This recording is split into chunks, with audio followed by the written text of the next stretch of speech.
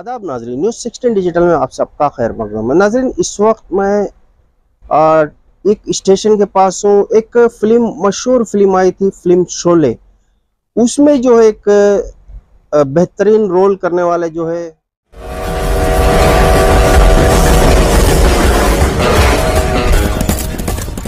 तुम अपने आप को बहुत बहादुर समझ पड़ेंगे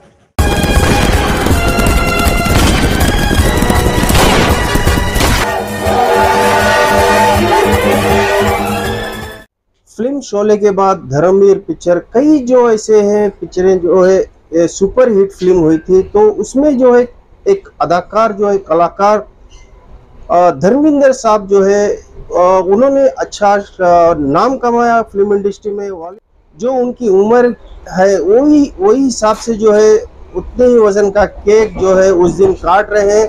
हमारे जो धर्मेंद्र फैंस क्लब की जानिब से जो है, शहर बेंगलुरु से जो शशिकांत शर्मा है, वो जो है उनके सारे फ्रेंड्स के साथ बॉम्बे जा रहे हैं। बॉम्बे जाके जो है उनके जो जन्मदिन के मौके पर वहाँ पे जो है खुशी मना रहे हैं।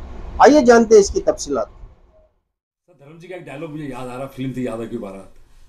और यादव की बारात एक ऐसी फ़िल्म है, जब नासिर साहब ने धर्म जी से ये कहा था कि धर्मेंद्र तुम्हें रोल करना है, बड़े भाई का रोल करना है। तो धर्म जी ने कहा था कि नहीं यार, बड़े भाई का रोल नहीं करूँगा, फिर क्या ना इमेज बड़े भाई की बन जाती है।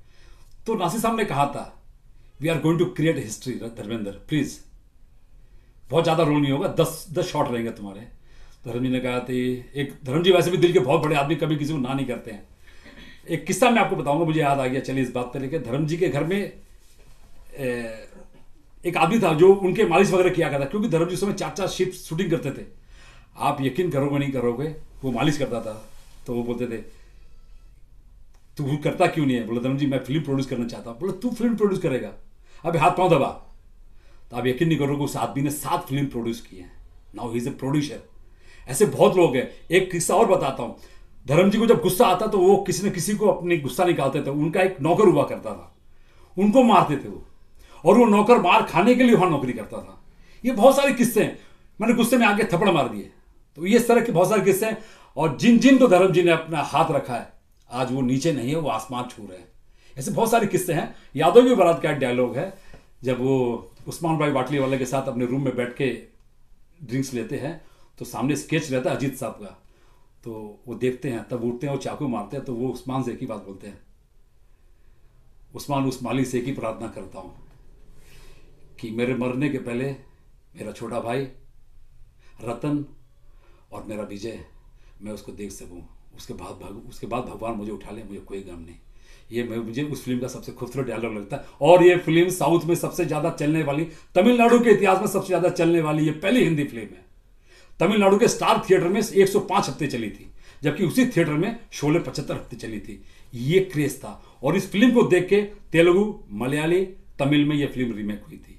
पहली फ़िल्म थी धर्म जी की, जिसको देख के तीन अलग भाषाओं में रीमेक की गई थी। ऐसे अनगिनत इतिहास है इसको अगर इतिहास से बोलने जाएँगे तो मेरे हिसाब से दस बस दस बीस साल लगेंगे। मरतबा फिर आप जो है धर्म साहब का जन्मदिन मना रहे हैं। जी हाँ फिर एक बार हम लोग धर्म धर्मेंद्र साहब का जन्मदिन मनाने जा रहे हैं। सत्तासीवां जन्मदिन है और बहुत खुशी है। सिर्फ़ बेंगलोर में नहीं हिंदुस्तान के तमाम शहरों में जहाँ पर धर्म जी के चाहने वाले करोड़ों लोग हैं हर जगह खुशी की एक लहर है। और विदेश में भी जैसे हमारे दोस्त नामिक भाई अजरबैजान में है रशिया में है अरब कंट्री में काफ़ी हैं केनिया से हरीश भाई हैं, और न्यूजीलैंड से हैं, राजू शेट्टी हैं इटली से अनिल हैं, सब बहुत खुश हैं, बस बहुत बड़े तरीके से मनाने जा रहा हूँ क्योंकि पिछले दो कोरोना से हम लोग बर्थडे ठीक से नहीं बना पाए, गुरुदेव का जन्मदिन, इस बार मौका मिला है, पूरे हिंदुस्तान से उनके चाहने वाले उनसे मिलने मुंबई आ रहे हैं उनको देखना चाहते हैं एक झलक उनकी देखना चाहते हैं उनके दर्शन करना चाहते हैं उनका आशीर्वाद लेना चाहते हैं। बेंगलोर से क्या खास रहेगा इसमें बेंगलोर से खास तो ये कि हम लोग जा रहे हैं। सबसे खड़ी खास ये बात है कि हम लोग बहुत सारे फैंस इनके जा रहे हैं यहाँ पर। डीएसबी फैंस है। बहुत बड़ा फैंस क्लब है। कर्नाटका का सबसे बड़ा फैंस क्लब है। आपने काफ़ी बार देखा होगा। बड़े बड़े कटआउट जब बनते हैं बड़े बड़ी फ़िल्म आती है जब धर्म या देवल कभी भी तो डीएसबी का काफ़ी इन्वॉल्वमेंट रहता है। इस बार हम लोग मिल के बॉम्बे में ही पूरी तैयारी कर रहे हैं। जैसे धर्म जी का जन्मदिन सत्ताईसवां जन्मदिन है तो हम लोग सत्ताईस किलो का एक केक बनवा रहे हैं। सतासी एटी सेवन। सतासीवा जन्मदिन उनका एट्टी सेवन बर्थडे है। और हम लोगों ने सोचा कि इस बार उनको एट, जित, जितना साल उनके जन्मदिन के हुए उसी हिसाब से एक केक बनाया जाए जो कि हम लोगों ने ऑलरेडी में बॉम्बे में ऑर्डर दे दिया गया है। और बहुत खूबसूरत तरीके से कम से कम चार पाँच दिन से उसमें काम चल रहा है।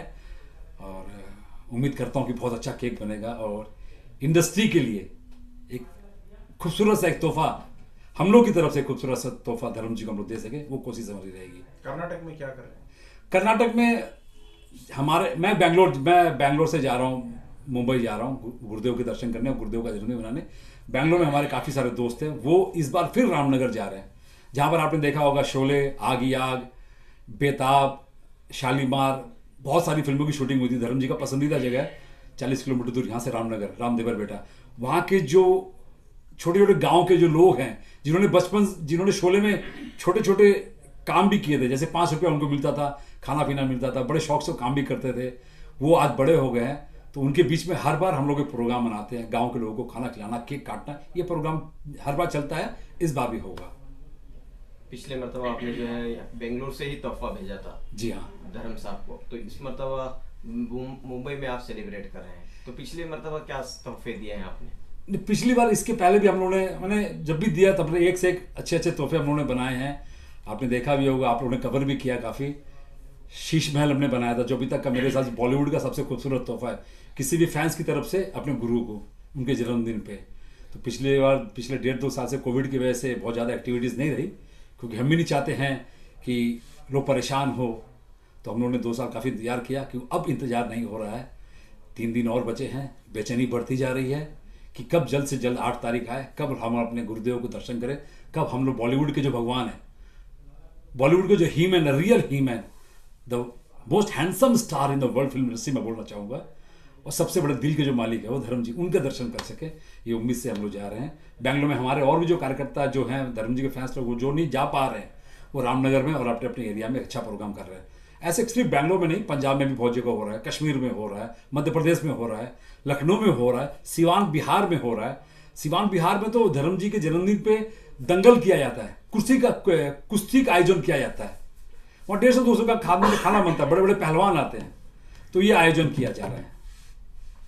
तो धर्म साहब के योम पैदाइश पर हर तरफ़ जश्न मनाया जाएगा। पूरे हिंदुस्तान में नहीं पूरी दुनिया में जश्न मनाया जाए क्योंकि वो है ही दुनिया के सबसे चाहते कलाकारों में से एक धर्मेंद्र सिंह देओल साहब। काफ़ी सारी उनकी फ़िल्में रही हैं। आप पसंदीदा फ़िल्में कौन सी? सर मैंने उनकी फ़िल्म देखी थी 1972 समाधि तब मैं बहुत छोटा था। मुझे लगता मुझे मालूम है कि मैं हाफ़ पैंट पहनता था। तब फुल पैंट का रिवाज भी बहुत कम हुआ करता था। तब हमारे घर वालों ने मुझे लेके मुझे ये फ़िल्म दिखाने लेके गए थे।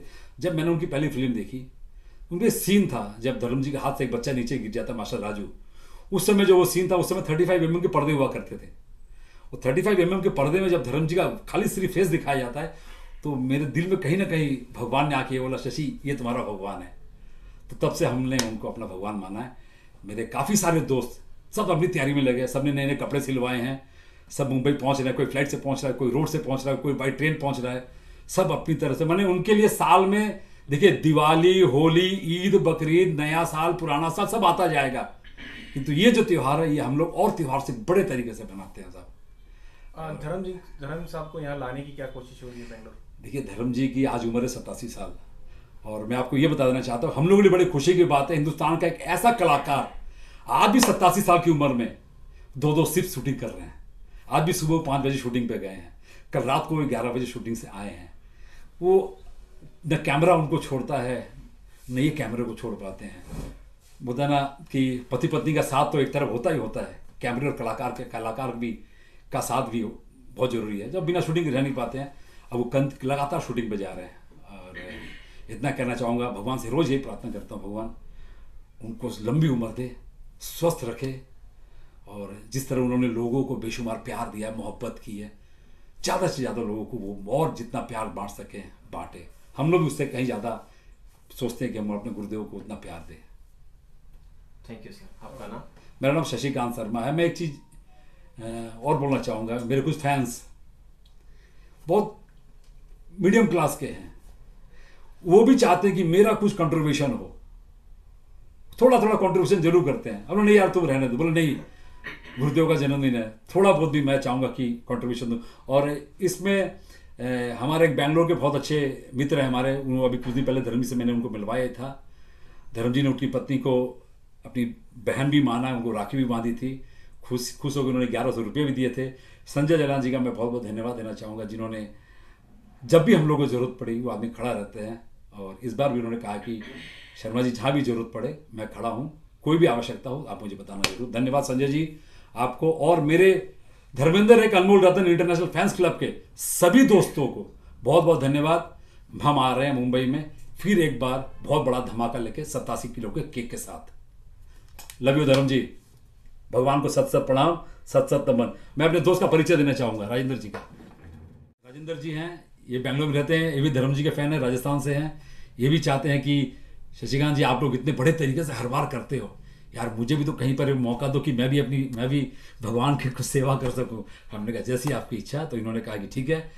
आ, मैं चाहता हूँ कि धर्म जी का ऑफ़ घर में बंगले में और गेट के बाहर और ड्राइवर सिक्योरिटी वॉचमैन जितने भी हो सबको जो टी शर्ट आप दोगे वो टी शर्ट मैं चाहता हूँ कि मेरी तरफ़ से धर्म जी के सारे स्टाफ को दूध दे सकूँ। तो मैंने इनके भेंट को स्वीकार किया है।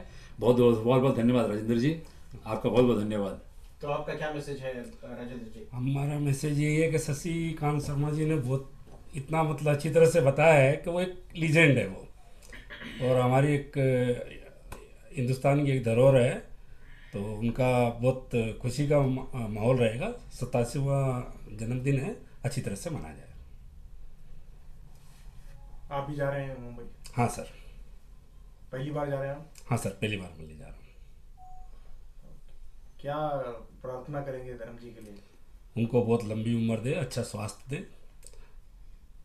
अच्छा स्वास्थ्य दे और लगातार कैमरे के सामने रहे। लगातार मतलब हम लोग उनको कैमरे में देखते रहे। कैमरे में देख आप इतने बड़े फ़ैन हैं धर्म जी का कोई डायलॉग अलग बोलिए कुछ याद करें धर्म जी का देखिए हम लोग तो पैदा भी नहीं हुए तब से वो कैमरे के सामने पूरा वो सब कर रहे हैं। हमारे पिताजी हमारे पिताजी के पिताजी और हमारे, मैं और मेरे बच्चे भी उनके फ़ैन हैं। नाजरीन, ताज़ा तरीन खबरों के लिए मेरे साथ बने रहिए न्यूज़ सिक्सटीन डिजिटल के साथ। मई सुहेल पाशा, कैमरामैन कलीम के साथ।